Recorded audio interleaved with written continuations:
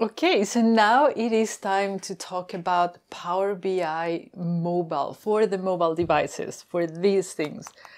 And uh, for this demo, I'm actually going to show you how it looks because it is so much telling that me just going through a presentation. And let's let's do that. Let, let me show you how it works. It's absolutely fantastic. Again this is available for all Apple devices or iOS, Android devices, and for Windows 10, so Windows devices. Okay, so just go to your store, download them, they're completely free, and start using them. So, what we're going to do is we open the Power BI app, I have it here, and we're going to go through the different elements of the apps. And Power BI mobile apps it looks very, very similar to Power BI service. To be able to have reports in here, you need to publish your report to the service or to the report server. Okay, you need to ha- have them in both place or in either place. So where you will find is first your name, and then you will see workspaces, share with me apps, and scanner. Scanner is a function that you can scan barcodes and then you will see a report in here about that specific product or machine or whatever it is. It's super cool. Um, if we go to workspaces, if you remember from the previous video, workspaces are containers for your reports. So here you can see the workspaces I have. We're going to go to the Northwind and there I have a dashboard and a report. Okay, I have both. So if we go first to the dashboard, you will see two tiles that I actually decided I wanted to have for this report.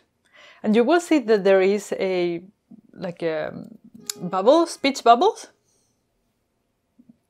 If I click on there, I can actually ask questions to the dataset without typing anything. This is absolutely amazing.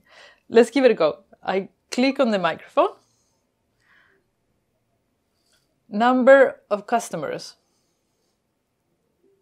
Click send.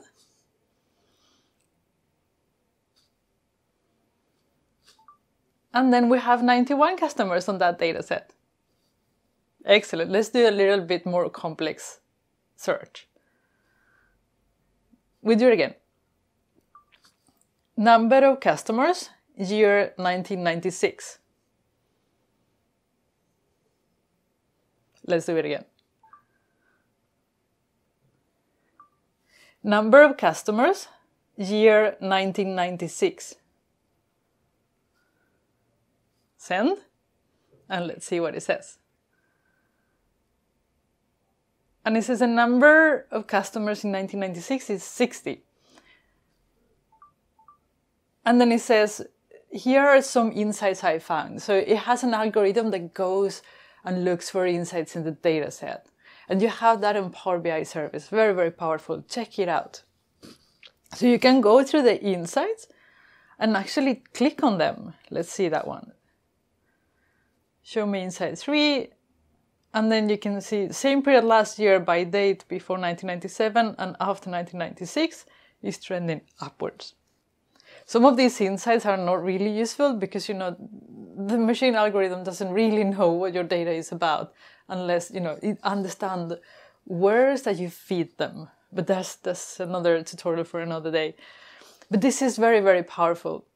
You can actually type. You don't need to write, but it is. I mean, it works so well ask, you know, talking, so why not? So now that I show you that, you can do that only with dashboards, okay? So you have to create a dashboard to be able to do that. If you go back, we're going to look at the report. And we'll have one report.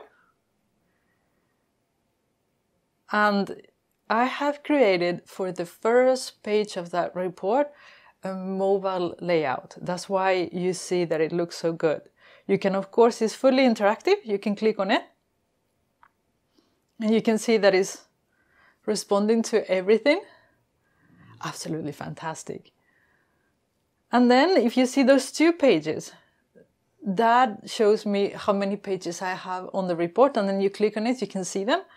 And I'm going to go to product details and you will find this page. What it means is that there is no mobile report available and you have to actually turn this into landscape mode to be able to see the report. And now you can see it perfectly. You have the possibility to favor the report.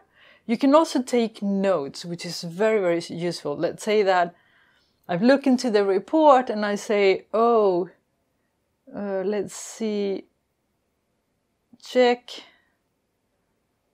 sales May. And I can send this to my team with my comments, as you can see.